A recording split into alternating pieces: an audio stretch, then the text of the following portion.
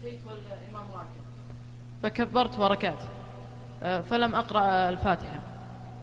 ما حكم هذه؟ مصداقا لما جاء به حديث الرسول صلى الله عليه وسلم.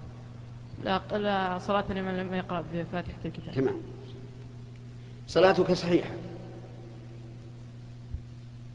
لأن النبي صلى الله عليه وعلى آله وسلم اللي قال لا صلاة لمن لم يقرأ بفاتحة الكتاب هو الذي أقر أبا بكرة حينما دخله النبي صلى الله عليه وعلى آله وسلم راكع وركع.